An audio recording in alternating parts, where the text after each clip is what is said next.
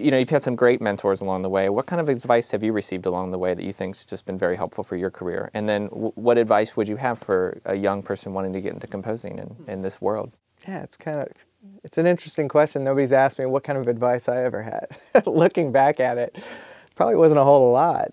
Um, you know, like I like I said in some other questions, I was just so fortunate to uh, to come up in an environment for nine years that was just taught me so much about it that uh, you know I didn't need to get a lot of advice. I just learned a lot. But um, you know, people always ask, "How can I get started?" or "What's the best way?"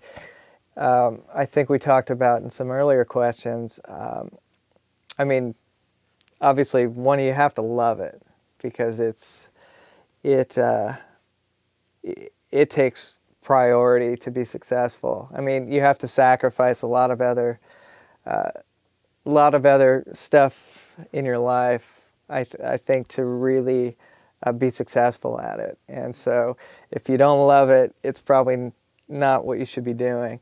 Um, and you know, obviously, you have to be good at it and um, and get lucky and meet people. But I still say uh, the best road in is through uh, you know meet as many people as you can, knock on doors, ask for help, you know, offer offer whatever you can do, and try to get a job.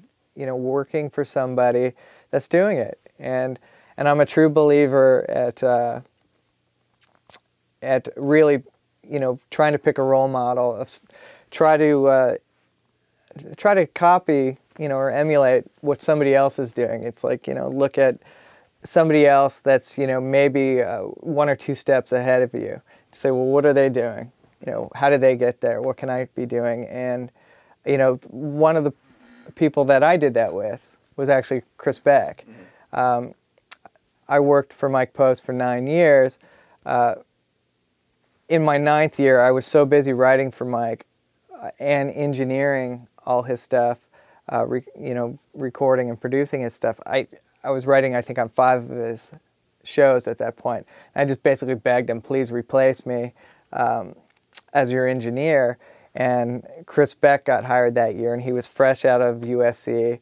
Uh, basically, had no credits. Uh, you know, just was unbelievably uh, talented and and a, a fireball of energy.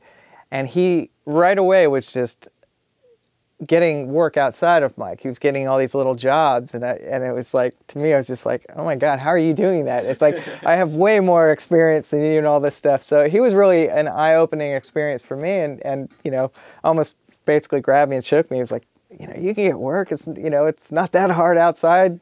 So I really just you know saw him come in and and and just saw the way he did things differently, and he was getting work, and and so he kind of opened my eyes. So I just think it's, you know, it's really smart to just see, find somebody who's who's doing something you want to be doing, and try to figure out why it's working for them.